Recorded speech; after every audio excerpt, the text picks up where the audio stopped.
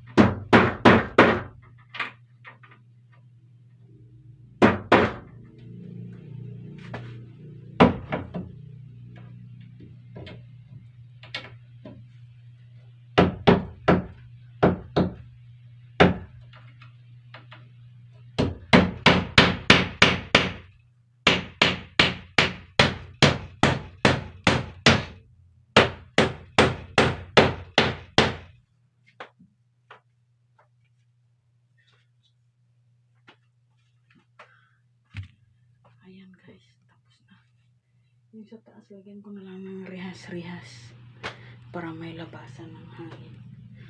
Ah, nakakapagod. Thank you for watching, guys. Ito lang yung ginagawa ko ngayon. Hindi na ako nagla-live muna kasi busy pa ang linya ni Yay. Thank you. Happy New Year. Happy prosperous uh, 2023. Bye-bye, guys. Love you.